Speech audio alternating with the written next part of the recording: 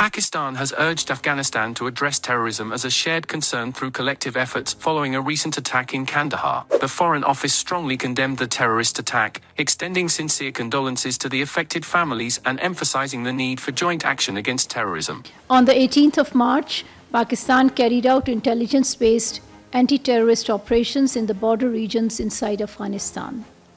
The prime target of the operation was terrorists belonging to Hafiz Gul Bahadur Group, which, along with Tehreek-e-Taliban Pakistan, has been responsible for multiple terrorist attacks inside Pakistan.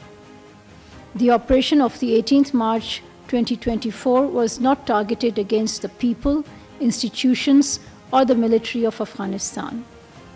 We respect the sovereignty and territorial integrity of Afghanistan and look forward to working together to find joint solutions in countering terrorism and preventing any terrorist organization from sabotaging bilateral relations between Pakistan and Afghanistan.